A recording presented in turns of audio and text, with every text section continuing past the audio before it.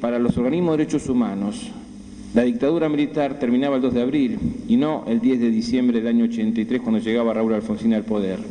Y a partir de este nuevo planteo que hace la presidenta con la apertura del informe Rattenbach y de esta mirada más amplia, más constructiva, apostando no a la muerte como se analizó y se vivió durante tantos años aquí en Argentina, sino dándole esa posibilidad de reconquistar eh, el camino de la vida, podemos sentirnos y comenzar a ser parte también de la participación y de la presencia en lo que es esta defensa de los derechos humanos, incluyendo a Malvinas, cuando durante muchos años se hacían las denuncias de las torturas, los estaqueos, los abusos militares y poco se decía.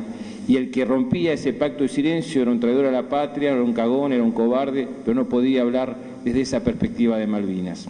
Ha tenido como, como hoja de ruta como rumbo la recuperación de la soberanía en distintos aspectos.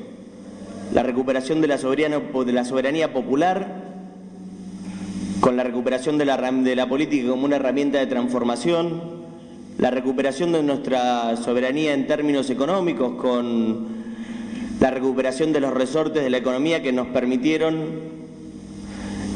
poder ser garante de nuestro destino y empezar a proyectar el país en el que queríamos soñar. A diferencia de el momento actual,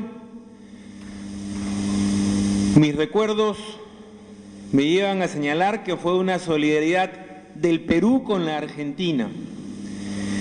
El día de hoy, en cambio, es una solidaridad continental con la reivindicación de las Malvinas que desarrolla la República Argentina. Es una solidaridad claramente continental porque el momento histórico que vive la región es diferente. En los últimos 12 o 14 años ha habido un giro importante en la mayoría de los pueblos de América Latina y ciertamente en la mayoría de los pueblos y gobiernos de América del Sur. Y este giro se caracteriza por una mayor independencia nacional de los gobiernos latinoamericanos y de los gobiernos sudamericanos. Los usurpadores cuando hacen el censo en las Islas Malvinas, no cuentan a aquellas personas que son soldados, soldados británicos y sus familias, no están contabilizados en los censos, son excluidos del censo poblacional.